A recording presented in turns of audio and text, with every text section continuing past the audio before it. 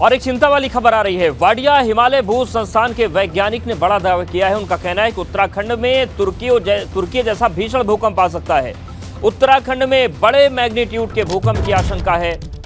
और वैज्ञानिक कालाचांद साई जो कि डायरेक्टर भी हैं उनका यह दावा है बड़े भूकंप की आशंका है और वाडिया हिमालय भूविज्ञान संस्थान के डायरेक्टर हैं कालाचांद साई। उन्होंने ये दावा किया है वैज्ञानिक रिसर्च के आधार पर और उनका कहना है कि उत्तराखंड में तुर्कियों जैस तुर्की जैसा बड़ा भूकंप आ सकता है और उत्तराखंड में बड़े मैग्नीट्यूड के भूकंप की आशंका बढ़ गई है।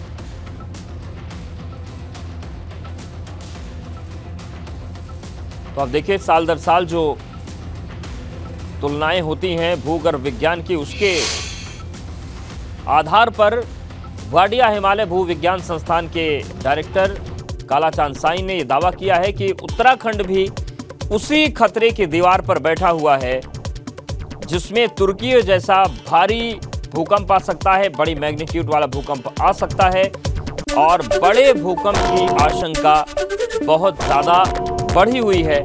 वाडिया हिमालय भू विज्ञान संस्थान के डायरेक्टर हैं काला चाँद साई, जिन्होंने ये दावा किया है और ये आशंका जताई है।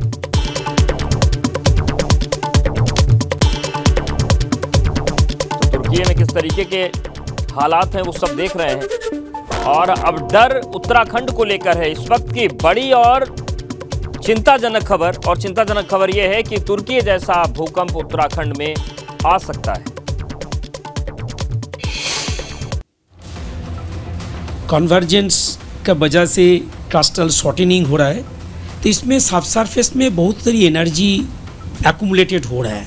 तो जब भी किधर हम लोग को फॉल्ट्स और फ्रैक्चर जोन्स मिलता है, जिसके थ्रू एक्यूमुलेटेड एनर्जी रिलीज़ हो जाता है time to time in the form of earthquake from seismological study from GPS study यहाँ पर हम लोगों को जो साइंटिस्ट काम करता है रिसर्चर काम करता है, उन लोगों को पता चला है जो कन्वर्जेंस रेट का वजह से इतना सारी एनर्जी एक्मुलेटेड है।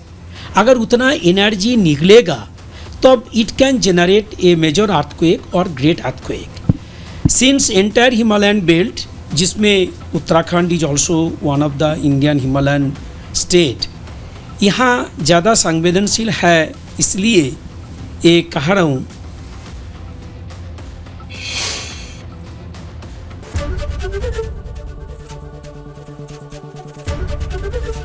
एबीपी गंगा खबर आपकी जुबा आपकी।